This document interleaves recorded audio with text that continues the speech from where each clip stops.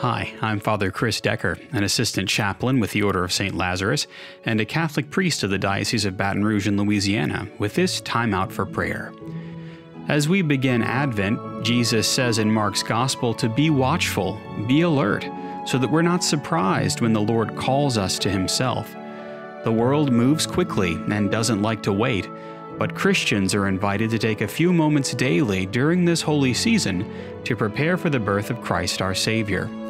Rather than being surprised that Christmas has come and gone just like last year, give God a few minutes every day to keep watch and be ready so that Jesus will truly find room in the inn of your heart this Christmas.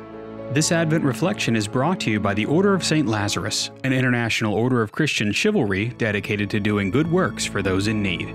For more information, visit st-lazarus.us.